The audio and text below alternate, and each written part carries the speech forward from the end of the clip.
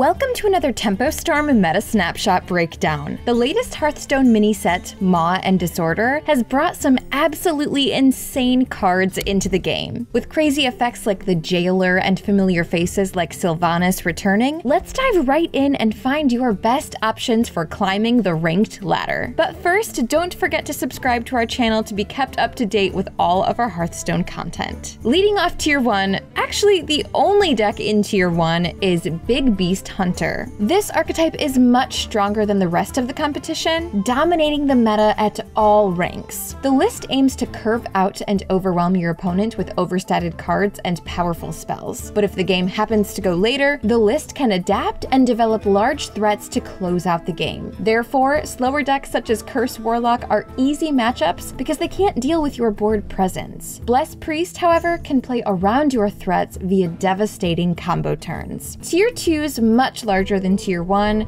six times larger to be exact. So let's take a look. First, we have Imp Warlock. This build of Warlock aims to push damage using early game imps and close the game out with either larger threats such as Imp King Rafaam or Curses. The deck stomps all the lists in tier 3 and 4 and goes roughly even against the other tier 2 lists except for Bless Priest. Anduin's combo can ignore your board and combo you down. The next deck in tier 2 is another Warlock one, with Curse Warlock making an appearance. Unlike the Imp variant, this deck focuses more on a control and cycle shell, aggressively drawing early and clearing board with spells and looking to end the game via curses. Where Imp Warlock spends early turns playing for board, you spend yours clearing it, so aggressive decks have a hard time against you. But again, and this feels like a little bit of a theme, Bless Priest combo turns can pose a problem for you. Naga Priest takes the third slot in tier 2 as one of the few decks that was not hit with the nerfs. Naga Priest hasn't really changed much since its release, fighting for board with cheap Nagas, and buffing them using cards such as Serpent Wig. Naga Priest beats up both variants of Warlock, as you can easily make threats that they can't deal with, but it struggles against Control Shaman. Bless Priest follows its Naga relative on this tier list, and whereas Naga Priest aims to play for tempo, Bless Priest aims to play for combo turns. When piloting this list, look out for Control Shaman. A few freeze or devolve effects can lock you out from the game. Speaking of Control Shaman, that deck takes the last spot in Tier 2. This archetype continues to see play despite the previous nerfs it faced, as the new Devolve and Devolve cards allow you to deny and contest your opponent's boards. This deck's wide swath of removal stifles both versions of Priest in Tier 2, but Big Beast Hunter's constant pressure, weapon damage, large threats, and even linchpin play and Tavish all pose a big issue. Hearthstone is in a great place right now, and aside from a